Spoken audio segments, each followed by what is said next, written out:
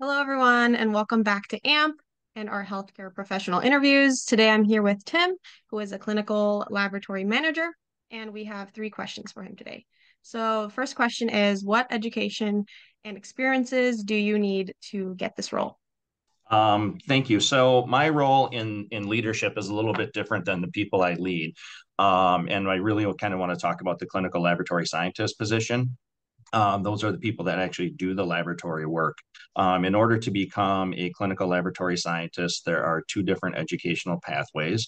Uh, there is a four year degree, um, which is a specific program called clinical laboratory scientist.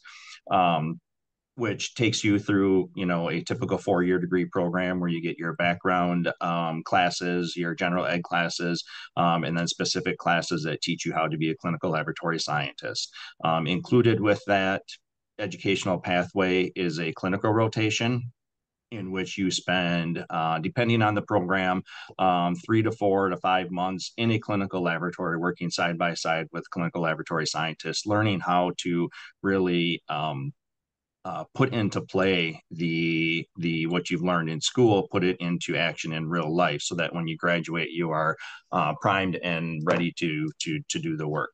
Uh, the second pathway is a two-year degree, and an associate's degree. That is a program called uh, Medical Laboratory Technician or MLT. Uh, very similar to the to the four-year degree, except generally with the two-year degree, the associate's degree, you don't get all the general ed classes. So when you start your program, you go directly into the sciences and um, and the, the the the teaching that will you know work for you in the laboratory. Um, along with that program there's also a clinical experience. It's a little bit shorter usually two months. Um, but again same thing where you're working side by side with the clinical laboratory scientist um, learning how to do the job and put into action everything that you've learned in the classroom. Very cool. Um, our second question is what does your average day look like um, from the the um, bench level tech or the, the CLS or the MLT, um, our day is involved in helping healthcare professionals uh, make medical decisions. Um, so we come in in the morning, depending on what kind of laboratory you work in, the hours are going to vary. Um, I manage a hospital laboratory, um, so we are 24 7 um, operation. Uh, so in the morning, my daytime techs uh, will come in and usually involves getting the instruments ready uh, to run for the day. Um, and then first thing in the morning is our busiest time frame because in the hospital we do morning rounds um, and morning draws on patients. Um, so our goal in the morning is to get all of our testing completed um, so that by the time the providers start coming in um, and looking for results, they can start making the decisions on the patients. Uh, then throughout the day, we support uh, the rest of the hospital. Um, again, we support the emergency department. We support other departments within our campus, like our cancer care center.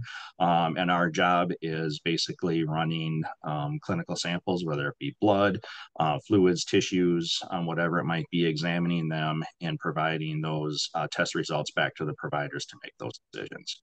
Um, as the day goes on, um, you know, second shift and third shift are kind of a repeat of the same. That's our main goal is is getting test results out. Um, we also throughout the day have to do maintenance on our instrumentation to make sure that they're running in tip top shape so that the results we we provide are accurate. Um, and then we do a lot of problem solving and um, um, other things throughout the day interaction with nurses interactions with providers um, and other departments to make sure that we're providing great patient care. Wow sounds very jam-packed. It is a busy day yes. Um, and then our last question is what is the most interesting thing or case uh, you've seen during your career?